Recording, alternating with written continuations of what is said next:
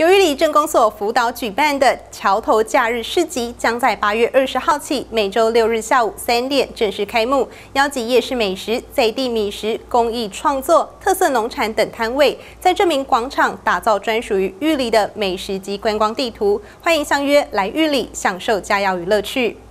由玉里镇公所辅导办理的桥头假日市集，将在八月二十号起每周六日下午三点正式开幕，将邀集夜市美食、在地美食、工艺创作、特色农产等摊位，在镇民广场打造出专属于玉里的美食及观光地图。我希望我们玉里镇啊是南区哈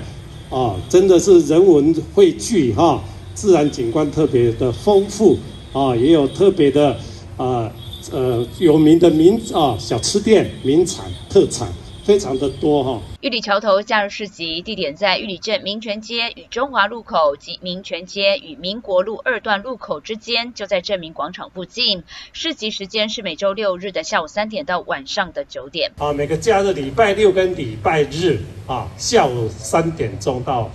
晚上的九点钟啊，我们会在。啊，民啊民权中华路口，民权民国路口，大约一百七十五公尺的一个。